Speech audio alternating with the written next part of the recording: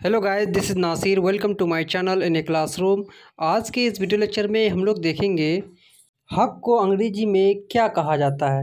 इससे पहले वीडियो को शुरू करूँ। हमेशा की छोटी सी रिक्वेस्ट है। अगर आप मेरे चैनल पर नए हैं तो मेरे चैनल को ज़रूर सब्सक्राइब करें। वीडियो पसंद आए तो लाइक और शेयर ज़रूर करें। हक हक हक को अंग्रेज़ी में कहा जाता है राइट राइट इसके अलावा राइट के अलावा और एक वर्ड है लीगल लीगल यानी हक के लिए आप राइट का भी यूज़ कर सकते हैं लीगल का यूज़ कर सकते हैं। आप किसी से कुछ कहते हैं तो आप कह सकते हो, आपको कहने की हक नहीं है, यानी आपको कहने की राइट नहीं है। कोई आपसे कुछ कहता है या माँगता है तो आप उनको कह सकते हो, आपको कोई लीगल नहीं है, आप मुझसे मांगो।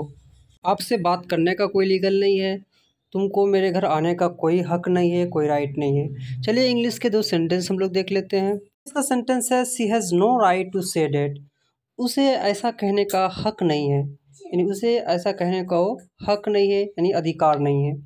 You have no legal to speak to me like that आपको इस तरह की बात कहने की मुझे हक नहीं है, यानी आपको इस तरह से बोलने की मुझे अधिकार नहीं है।